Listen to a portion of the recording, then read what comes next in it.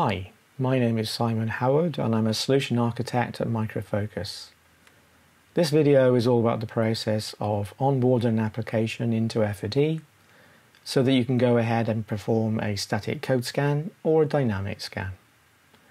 So to onboard your application, you go to the Applications view, one of the main views in FOD, and then you select the New Application button. And then you go through a wizard filling out various bits of information about the application. So you define the application name,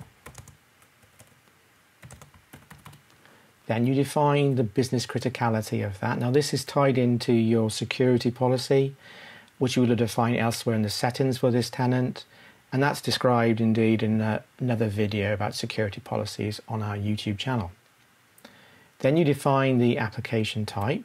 This can be Web/Thick client or mobile. We'll keep it as Web/Thick client. Then you may optionally check this box here if you have microservices. We're not scanning microservices here, so we're going to keep it as is. Provide a description. This is optional, by the way.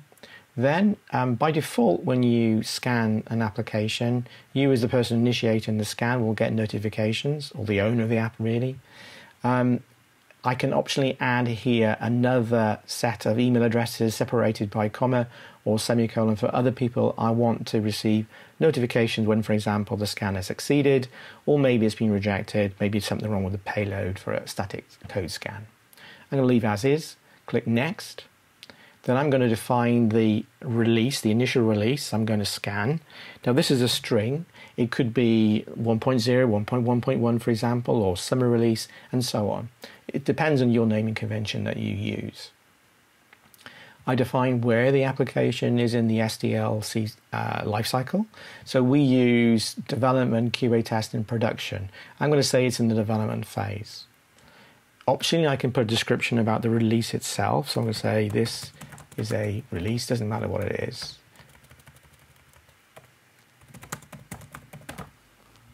For the purpose of this demo, at least anyway.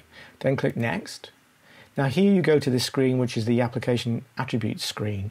Now attributes are something that's very much unique to your tenant that you can see in the background here. There's some defined here, actually listed rather. Um, in this particular case, for this demo tenant, um, I have to define one attribute when I onboard an application called regions. You'll see something totally different in your tenant. So in this particular case, the regions attribute has three values, AMS, APJ, or EMEA. So I'm going to select EMEA, that meaning in this particular demo tenant that the application was created in the EMEA region. Nothing else has to be defined in this particular case. I'm going to click Next. And on this screen, the user groups screen or part of the wizard, I have to optionally define a group that this application belongs to, if you like, and this is used as a form of access control. So I'm going to allow anyone in this tenant to have access to this application, its results, and so on. But I could, for example, constrain it to just the back-end dev team, meaning that in this case only two users would have access to the application, be able to scan it, and so on. But I'm going to leave it as is. Click Next. This is a summary of what I've entered.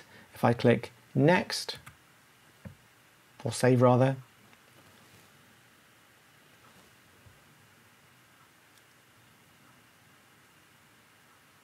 and the application is now being, being created in the back end. And here I get taken to this view, the release details view.